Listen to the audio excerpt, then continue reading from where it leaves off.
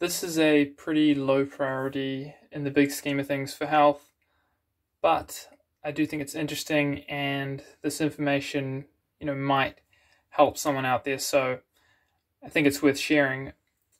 What I'm going to talk about in this video is organic textiles or organic fabrics, organic clothing. So you might not know this, but just like you can grow uh, food, you know, vegetables, fruit, meat, etc., organically, you can also grow the materials needed to make clothing and fabrics organically as well. So the cotton could be grown organically, or say the wool could be from a sheep that was farmed organically, etc., etc. And so in this case, what I've got here is uh, a pair of some uh, some clothing, specifically underwear from a company called Danish Endurance, which is made from organic cotton. And I got that a couple of months ago.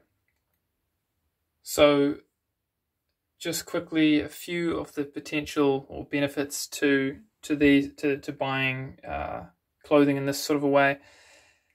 The most obvious one is that you're encouraging encouraging the right sort of uh, farming, right? So you're you're supporting the farms that are growing the cotton organically rather than using lots of pesticides and things like that, which can be harmful for for wildlife. So that that's one benefit. And then there's also I don't particularly have this issue at all, but I have read on the reviews for this product online that uh, some people some people have you know are allergic to certain materials, uh, and so you know depending on the brand, obviously, but the ones that are you know organic products like this, they're likely to use less of those sorts of materials that might uh, be that some people might be allergic to.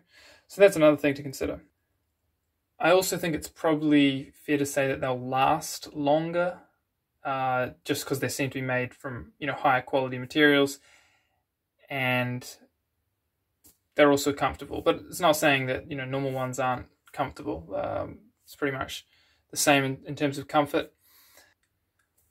The last thing I'll mention, which was interesting to find out, is that with organic textiles, organic fabrics, organic clothing, uh, there's kind of two grading systems or two certifications, types of certification. So you can get the raw materials sourced from organic farms. That's one component. And you can also get uh, things like OEKO-TEX certified, I think that's how you pronounce it, uh, where they certify the manufacturing, the, the processing, and make sure there's no kind of all these bad sort of chemicals that could be in the product. None of them are in the final product. And so it turns out the reason I found out about that was because these these Danish endurance ones come uh, with both of those. They're certified organic cotton and also uh, this OEKO-TEX 100 certified.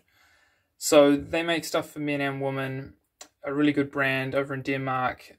I'll link uh, where I got them in the description below and any other products I think uh, people might be interested in.